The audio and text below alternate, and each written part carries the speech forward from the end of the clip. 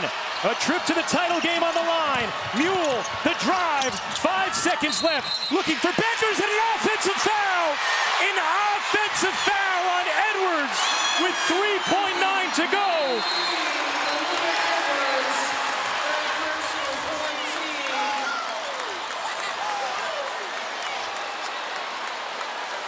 They were trying to set a screen for Paige Bueckers to get a look here.